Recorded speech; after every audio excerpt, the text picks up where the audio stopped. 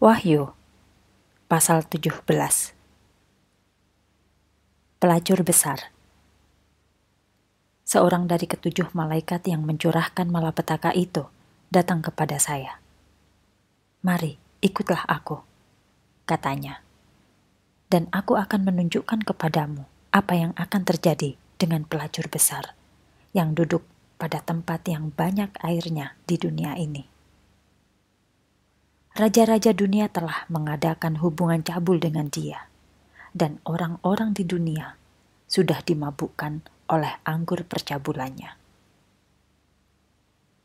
Kemudian malaikat itu membawa saya secara roh ke padang gurun. Di sana saya melihat seorang perempuan duduk di atas seekor binatang merah tua yang berkepala tujuh dan bertanduk sepuluh seluruh tubuh binatang itu penuh ditulisi dengan kata-kata hujat terhadap Allah. Wanita itu memakai pakaian berwarna ungu dan merah tua, dan perhiasan yang indah-indah dari emas dan batu permata dan mutiara. Ia memegang sebuah piala emas yang penuh berisi percabulan. Pada dahinya tertulis suatu nama rahasia Babel besar, ibu para pelacur dan para penyembah berhala di segala pelosok dunia. Saya melihat bahwa ia mabuk, mabuk oleh darah sahid-sahid Yesus yang telah dibunuhnya. Saya memandangi dia dengan penuh keheranan. Mengapa engkau heran? Tanya malaikat itu. Aku akan menjelaskan kepadamu siapa dia dan apa arti binatang yang ditungganginya. Binatang itu dahulu hidup, tetapi sekarang sudah mati. Namun, ia akan segera muncul dari lubang maut yang tidak terhingga dalamnya, lalu menuju kebinasaan kekal. Penduduk dunia yang namanya tidak tercatat dalam kitab kehidupan sebelum dunia dijadikan akan terheran-heran melihat dia muncul lagi sesudah mati. Sekarang perhatikanlah baik-baik. Ketujuh kepalanya melambangkan sebuah kota yang dibangun di atas tujuh bukit tempat tinggal perempuan itu. Ketujuh kepala itu juga melambangkan tujuh orang raja. Lima raja sudah dirobohkan. Sekarang yang keenamlah yang memerintah. Sedang yang ketujuh masih akan datang.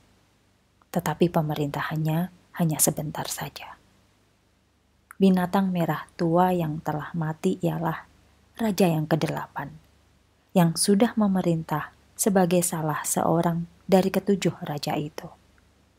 Sesudah pemerintahannya yang kedua kali, ia juga akan binasa. Kesepuluh tanduknya ialah sepuluh raja yang belum memegang kekuasaan. Mereka akan diserahi tampuk pemerintahan kerajaan masing-masing selama suatu saat yang pendek untuk memerintah bersama-sama dengan Dia. Mereka semuanya akan menandatangani suatu perjanjian penyerahan kekuasaan mereka kepadanya. Bersama-sama mereka akan memerangi anak domba. Mereka akan dikalahkan oleh anak domba itu, karena dialah Tuhan atas segala yang dipertuan, dan Raja atas segala raja dan pengikut-pengikutnya adalah orang-orang yang terpanggil, terpilih, dan setia. Semua samudera, danau, dan sungai tempat kedudukan perempuan itu melambangkan orang banyak dari segala suku dan bangsa. Binatang merah tua dengan sepuluh tanduknya, yang melambangkan sepuluh orang raja yang akan memerintah bersama-sama dengan dia Semuanya membenci perempuan itu dan akan menyerang dia, lalu membiarkan dia telanjang dan dimakan api.